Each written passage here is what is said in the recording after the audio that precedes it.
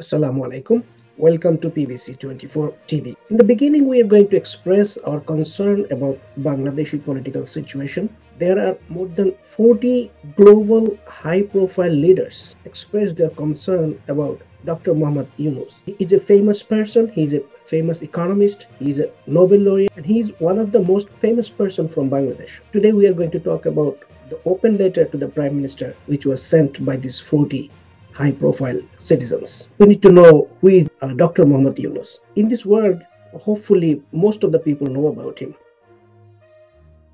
Dr. Muhammad Yunus is a Bangladesh economist and social entrepreneur who has dedicated his life to fighting poverty and promoting social businesses.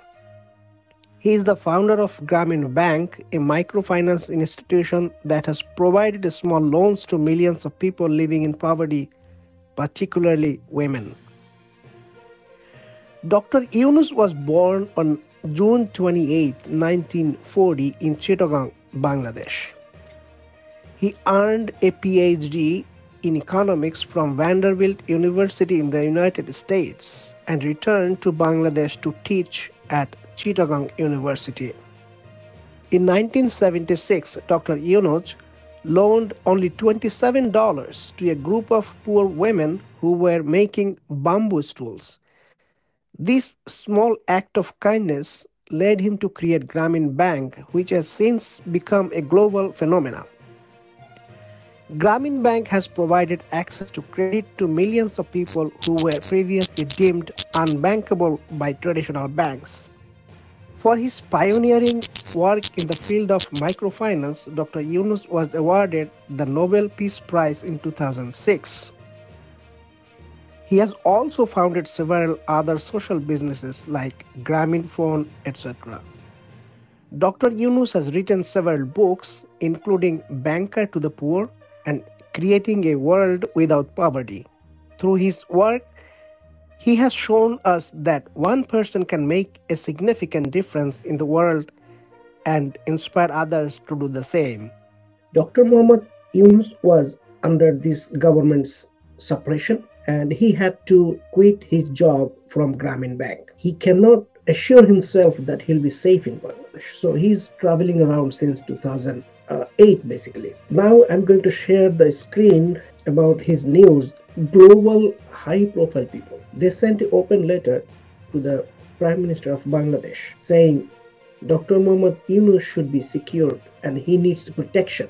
So I'm going to share the screen. I'm sharing a screen. Uh, it's a newspaper, a very famous newspaper from Bangladesh called Daily Star. And the headline is Global Leaders Express Deep Concerns for Nobel Laureate Muhammad Yunus. 40 global leaders expressed their deep concern for the well-being of Nobel Peace Prize laureate Muhammad Yunus in an open letter to Prime Minister Sheikh Hasina. The letter said that it is painful to see Professor Yunus, a man of impeccable integrity and his life's work, unfairly attacked and repeatedly harassed and investigated by the government. The letter also appeared as a full-page ad in Washington Post on Tuesday, March the 7th, 2023. It's a huge letter and it has all the uh, problem Dr. Yunus was facing in Bangladesh.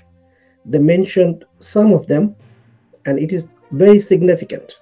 It is very significant for the Bangladesh. It is very significant for Bangladesh community abroad. It is very significant for Bangladesh government we hope, we hope this letter will open up the eyes of our Prime Minister and she will stop doing what she is doing now. The global eyes watching her that she is doing something bad and she needs to be changed. Dr. Muhammad Yunus has invented a lot of social businesses in Bangladesh.